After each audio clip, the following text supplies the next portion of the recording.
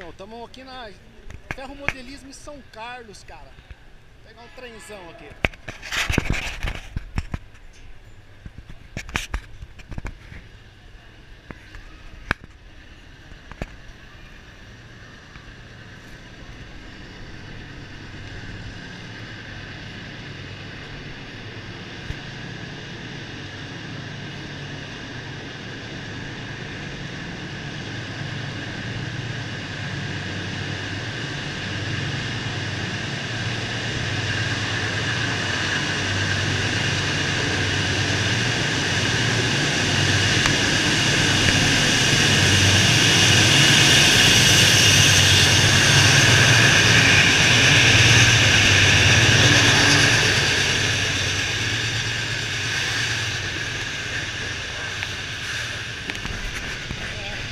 Nessa aí, velho.